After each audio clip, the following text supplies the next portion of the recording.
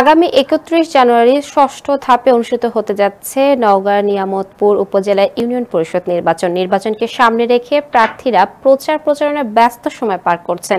উপজেলা ছয় নং ভাবিচা ইউনিয়নে আনারস মার্কা স্বতন্ত্র প্রার্থী ইঞ্জিনিয়ার শরীফুল ইসলাম তার নিকটতম প্রতিদ্বন্দ্বী ক্ষমতাসীন আওয়ামী লীগের নৌকা মার্কার প্রার্থী ওবায়দুল হকের বিরুদ্ধে পোস্টার ছেঁড়া সহ নির্বাচনে আচরণ বিধি লঙ্ঘনের অভিযোগ এনেছেন। নওগাঁ থেকে সোহেল রানার পাঠানো তথ্যচিত্রে বিস্তারিত জানাচ্ছেন সুরাই আফরিন ঐশী। আনারস মার্কার স্বতন্ত্র প্রার্থী ইঞ্জিনিয়ার শরীফুল ইসলাম জানান তার কর্মী সমর্থকরা আনারস মার্কার ব্যানার পোস্টার লাগিয়ে বাড়ি ফেরার পথে নৌকার কর্মী সমর্থকরা তাদের পথ আটকে ব্যানার পোস্টার লাগাতে নিষেধ করেছেন। উভয় পক্ষের বাগবিতণ্ডা বাঁধে এক পর্যায়ে নৌকার কর্মী সমর্থকরা তাদের উপর চড়াও হন এবং মারধর করেন। এই ঘটনায় উভয় পক্ষের অন্তত চারজন আহত হন। স্বতন্ত্র প্রার্থী আনারসের ভোট করার জন্য, শরীফুলের ভোট করার জন্য কয়েস শেরপুর দিয়ে যাস, তোকে দুনিয়া থেকে উঠিয়ে দেব।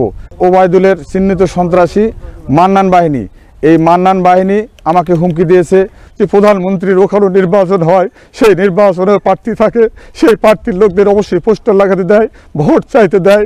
এইরকম জঘন্যতম বর্বরিত হামলা বোধ হয় কোথাও হয়েছে বলে আমার জানা নাই। এই ভাবিছে ইউনিয়নে যেন সুন্দর একটা সুষ্ঠু ভোট হয়।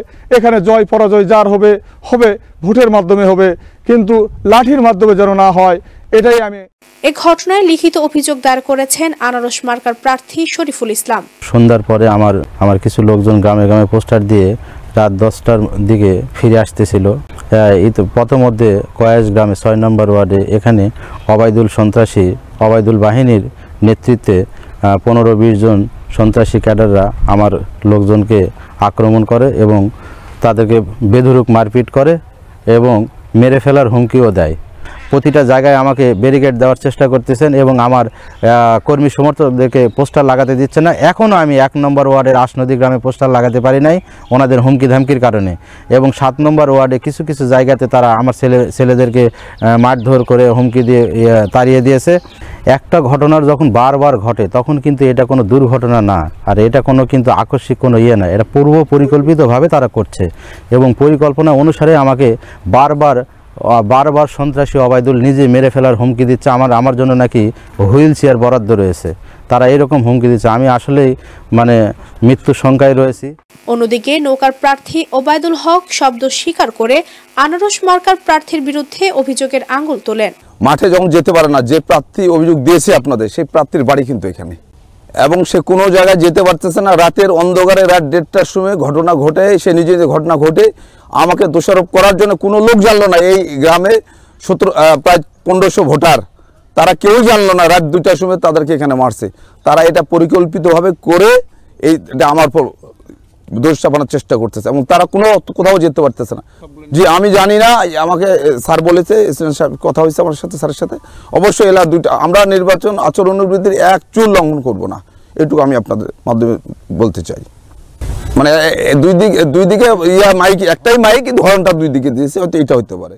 অভিযোগের বিষয়টি নির্বাচনী আচরণবিধি নিয়ন্ত্রণের দায়িত্বে থাকা সংশ্লিষ্ট দপ্তরে পাঠানো হয়েছে বলে জানালেন উপজেলা রিটার্নিং অফিসার। গতকাল একটি মাত্র শুধুমাত্র নির্বাচনী আচরণবিধি সংক্রান্ত আহ, ও একটা অভিযোগ পাওয়া গেছে। নির্বাচনী আচরণবিধি দেখভালের জন্য রয়েছেন আমাদের একজন বিজ্ঞ এক্সিকিউটিভ ম্যাজিস্ট্রেট প্রেসিডেন্ট ভূমি নিয়ামত নগর। অভিযোগখানি উম, তার বরাবর প্রেরণ করেছি পরবর্তী ব্যবস্থা গ্রহণের জন্য। ষষ্ঠ ধাপের ইউপি নির্বাচনে এ উপজেলার মোট এক লক্ষ সাতানব্বই হাজার আটশো সাতচল্লিশ জন ভোটার ইভিএম মেশিনের মাধ্যমে তাদের ভোটাধিকার প্রয়োগ করবেন। এখানে আটটি ইউনিয়নের উনচল্লিশ জন চেয়ারম্যান প্রার্থী প্রতিদ্বন্দ্বিতা করছেন। সুরাই Oishi news desk CNN Bangla. ময়মনসিংহের ত্রিশালে মনির ও তার গুন্ডা বাহিনীর অত্যাচারে অতিষ্ঠ হয়ে বিক্ষোভ ও মানববন্ধন করেছে স্থানীয় বাসিন্দারা। ময়মনসিংহ ব্যুরো প্রধান হুমায়ুন কবির জানান, শুক্রবার বিকেলে চর মাদাখালী গ্রামের বাসিন্দারা এই মানববন্ধন করেন। মানববন্ধনে বক্তারা বলেন, স্থানীয় সন্ত্রাসী মনির ও তার গুন্ডা বাহিনীর কারণে এলাকাবাসী রাতে ঠিকমতো ঘুমাতে পারছেন না। এলাকায় চুরি, ডাকাতি সহ বিভিন্ন অপকর্মের নেতৃত্ব দেয় সে। তিনি প্রবাসী মকবুল হোসেনের মার্কেট ও জমি দখল করতে গিয়ে ভুয়া দলিল দেখিয়ে ভাঙচুর করে। মকবুলের স্বজনদের হত্যাসহ নানা ধরনের ভয়ভীতি দেখিয়ে আসছেন মনির। তাদের বিরুদ্ধে থানায় একাধিক মামলা রয়েছে বলেও জানান তারা। এলাকার শান্তি শৃঙ্খলা বজায় রাখার স্বার্থে এলাকাবাসী প্রশাসনের কাছে মনির বাহিনীর বিচার ও শাস্তি দাবি করেন। খাসি আমার একটা হার নিছে গা। এদিকে আমি তার মাল নানের ব্যক্তি আমি আনছি গা। তারপরে আমার মনিরে দিতে জালাল তার নানির বাড়ি থেকে আমি এটি আনছি উদ্ধার হয়ে আনছি বুঝছুন। তারপরে আমার এই থেকে শত্রু আমার মারি আলবো। আমার এই যে গত তিন দিন ধরে কইতাছে পেট্রোল আগুন বাড়ি বাড়ি ঘর ঘুরে আলবো। দিন বড় করে বাড়ি ভেঙে দিবার দিন বড় বাড়ি ভেঙে মনিরে ক মনিরে আমি বিচার চাই। মনিরে আর একটা খাসি নিচ্ছি। আর অত্যাচার করতে সাঙ্গরে জমিন টমিন নিবার সাগা গা। কাটাল বাসা জিরবা কাটাল বাসা বিদেশে আছেন বলা এই আমরা মসজিদ একটু ঠান্ডা গ্রামটা একটু ঠান্ডা আছে। কি মসজিদ থেকে তালা ভাঙ্গিয়া টিয়া বসে নিছি গা। আমরা তো খুঁজে পাই না আল্লাহ কাছে দহ দিই তো মনির এই এলাকার এই, মানে হ্যাঁ, কিছু ফুলাফান নিয়ে ঘুরে ঠিক আছে চুরি করে এবং হ্যার বাপে চুরি করছে আর দাদাও চুরি করছে। কইরে এখন গুন্ডা ফান্ডা লইয়া এই জমি দল এনেছিল গা পুরাটা। পরে আমরা এলাকাবাসী থাকিয়া এবং আইনের লোক ছিল, চেয়ারম্যান ছিল, নয় নং ওয়ার্ডের মেম্বার ছিল, সবাই থেকে গ্রাম্য সালিশ করে মনির মনির রেন্তে উচ্ছেদ করা হয়েছে মঙ্গলবাড়ার জমি তারে দখল দেওয়া হয়েছে এখন তারপরেও মনিররা বিভিন্ন দল টল নিয়ে মঙ্গলবাড়ারে এবং মঙ্গলবাড়ার ফ্যামিলিরে হুমকি দুমকি দেয়। সে সন্ত্রাস এলাকায় চাঁদাবাজি করে, সন্ত্রাসী করে, চুরি করে। বলতো বাড়িত নাই, না তাহাতে বিদেশ, তার ফ্যামিলি বিদেশ, তাহে পুরাটাই এ নয়া হেরা, গড় বান্ধা হেরা একটু ইয়া করে আর কি, আস্থানা করছে। এত চুরিটা হাতি করে তো চেয়ারম্যান মেম্বার এলাকাবাসী আয়া হেরা কয়েকদিন আগে তারে উড়াই দিছে আর কি। এখন উড়াই দিছে দিছে, এখন তারে ঘরে হুমকি টুমকি দিতেছে, অনেক কিছু করব।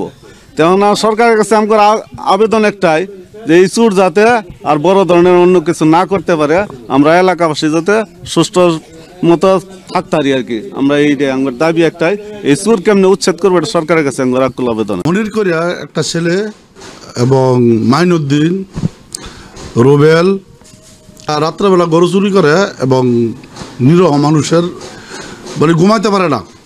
দল ধরিয়া পাহারা দা কদিন রাখব। পরে গ্রামের মানুষ অতিষ্ঠ হয়ে আমাদেরকে বলছে যে, এটা একটা ফয়সালা দিন। তারপরে চেয়ারম্যান সাহেব ছিল আমি নবাগত মেম্বার ডন্ডং ওয়ার্ডের সাথে ছিলাম এবং গ্রামবাসী ছিল প্রায় তিনশো লোক। নতুন বুচ্চর বাজারে বসে আমরা এখানে একটা সম্মেলন করি। যে ওদেরকে ডাকায় নিয়ে আসি।